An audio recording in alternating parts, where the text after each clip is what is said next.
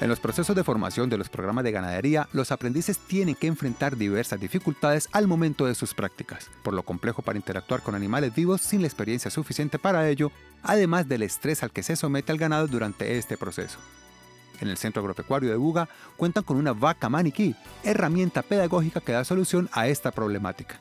Para las prácticas tanto de inyectología como reproductivas, como de procesos de ordeño, en este caso específico de la mastitis, podemos utilizar este animal, este prototipo bovino, para darle un efecto más interesante a las prácticas de formación de los diferentes cursos. Este modelo es fabricado en el departamento de Córdoba y solo existen cinco en diferentes instituciones educativas del país. Este es el primero que llega al SENA para fortalecer los procesos de aprendizaje.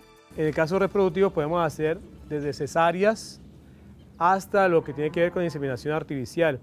Los aprendices tendrán la posibilidad de determinar en la parte reproductiva con los diferentes aparatos reproductivos, en este caso la cervix, cuál es la funcionalidad de los ovarios y inclusive dentro de la parte de inyectología que hablamos eh, tenemos la posibilidad de hacer implantes a nivel de las cartílagos de las orejas. Con esta vaca podrán adelantar sus prácticas de manera segura.